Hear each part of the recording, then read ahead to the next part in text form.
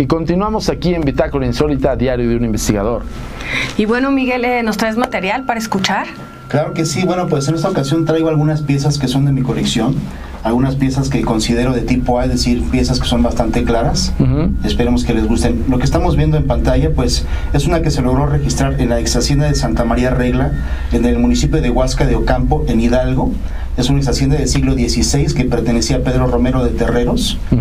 Y se logró registrar una voz bastante interesante, dos voces vamos a escuchar una que parece decir yo estoy abriendo un pozo. Una voz de mujer diferente que parece decir estirándome.